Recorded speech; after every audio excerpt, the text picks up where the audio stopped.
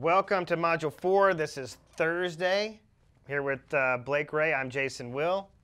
Let's jump right in. We're almost there. Okay. Yeah, we're making some serious progress. Now, um, we know consistency is key. So, Blake Ray, how are we going to start our day on Thursday? Hot sheet? I think, I think that's what it is. Yeah. I think that's where we should start. Uh, next, we should do a little bit of lead follow up. Who knows? Somebody could have taken a card out of the door and going, "Gosh, I can, this is I've never seen a real estate agent who actually hustles like this. I might give him a call."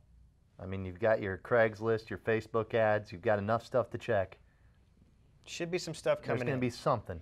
Could have gotten a call back from your circle prospecting. Yep. Somebody going, man, I got a coworker at work that's been waiting on a house to come on the market here. I'm going to take them to the open house. Um, so there, there should be some definite signs of momentum here. I think uh, it, it, this could be another opportunity to create another uh, Craigslist post. Uh, this time you could actually uh, create a, a Craigslist post that actually showcases the the, the subdivision or gets a little more specific on this um, kind of number one amenity of the house that you want to, to showcase, whether you're focusing on the kitchen, the backyard, the acreage. Um, but they would be up to the agent to decide if this is really a worthwhile avenue for them. So always be testing uh, the viability of Craigslist. But again, I'm a big fan of Craigslist. I've really, uh, it really helped me build my business. Mm-hmm. Um, but again, like you said, we're dealing much more with a Facebook first audience here in the real estate industry. So, uh, and this is going to be kind of a passive activity where we just we create a, a Facebook infographic with some nice visual, vis, uh, visual images of the home and the date and time, the details of the open house, the address. So they could use Canva to do that, to create the graphic. So it doesn't have to be expert level graphic, but we just need something right. that we can share to buy, sell, trade groups on our Facebook page, on our business page, on Instagram.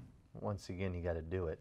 Yeah, you got to do it. I mean, really, if you even, like, I'm just trying to look at every avenue and say, well, I'm not that guy. I can't do Canva. But realistically, if I went to a mortgage lender and said, hey, you know, I'm interested in your product, do you provide realtors with any tools? There's a healthy amount. Any of them, um, you know, Movement Mortgage provides websites for crying out loud. Like there's, they'll give you tools in order. They hope you return the business. Mm, they'll point. make your can They'll make make your flyers for you. I've so had them leverage. show up. Yeah. Leverage your vendors. Free leverage too. Free like leverage. not even paid leverage. Free. Yeah. That's Just a good plan. Because they want your business. Exactly.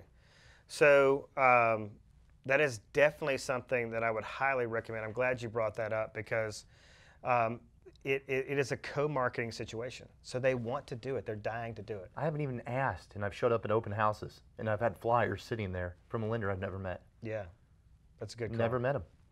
Um, what about uh, buy-sell trade groups? Are, are those important? Um, have you got any experience using those or generating leads I, from I, them? Well, I do use them a lot. I think you have to micro commitments. Mm-hmm. You know, let's you got to calm down. Not everybody's going to be the next, you know, big internet agent. But one thing that you need to consider about these buy, sell, and trade groups is like what's the average user, right? Like what are, my mom's. My mom lives in Iowa and she's on South Baldwin's buy, sell, and trade. Like that should just show you the scope of what you're dealing with. Like thousands Right. and thousands of people. So join as many of them as you can. Many of them. Abide by the rules. Yep. Because you're right. We've had people call us from Texas and say, "Oh, we're coming in. We saw your thing on such and such buy, sell, Right. and trade."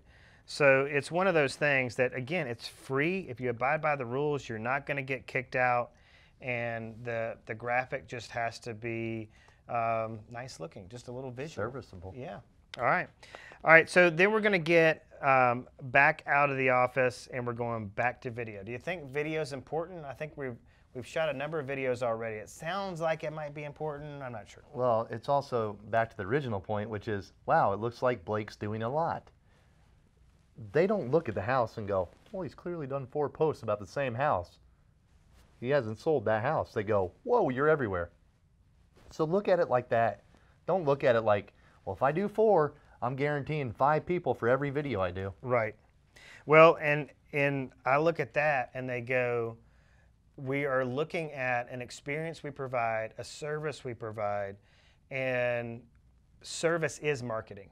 Yeah. So look at Blake Ray servicing this for sale by owner or servicing his seller client by doing all of this repetitive, consistent activities that draw attention to the home he's been charged to sell.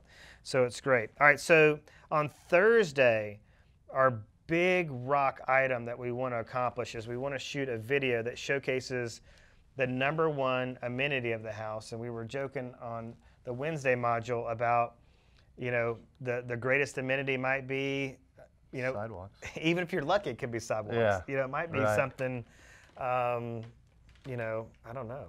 It Well, I could mean, be next to an airport. Could just be an entrance. Yeah. Like that's your only Yeah. selling feature. Like it's got an entrance to it. So you got to go with what you got, Yeah. and and just be loud and proud about it, right? Mhm. They're they're not really looking at the houses in these things a lot. They're seeing you. So you got to really realize that. Like quit getting behind. Well, this house doesn't have granite; it has formica. Who gives a crap? Like as long as you're doing four videos on it, you got a better chance of selling it. Well, and we talked about that every potential interaction is an interview. Right. You're constantly having to sell yourself as a real estate agent. That there's no difference in what's taking place in the video. You could be connecting with somebody. You could essentially be interviewing with a potential prospect that you've never met before. Right. And one of the things A that neighbor. Yeah. One of the things we hear a lot as a result of doing these videos is people say, Well, Jason, I feel like I know you. Yeah. You know, I've never met you in person, but I see your videos and you just have this rapport. So if you go into a listing uh, appointment and you're competing with two other agents, you've already got a big leg up. Exactly. Okay. All right. So shoot a shoot and post a quick video uh, on your personal Facebook page. Now we haven't discussed this before, but it's crucial that the, that an agent lead with their with their personal Facebook page. I think this is a lot of times something that is heavily debated Yeah. that they should be leading with their business page and sharing to their personal page. But I always go back, where's your audience? Where are the eyeballs?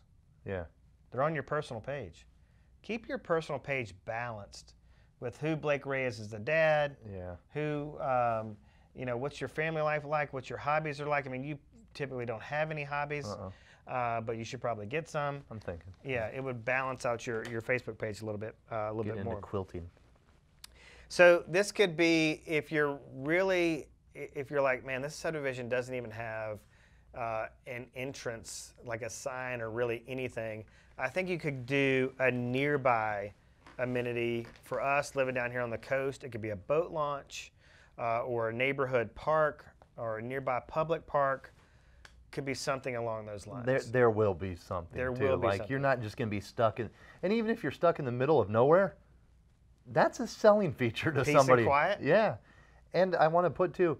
We've had agents um, that have literally, I know they've closed seven to eight open houses. I've seen it, and when I sat her down and just asked, she was so happy to to just vomit all that information up. And she was very simple in what she said.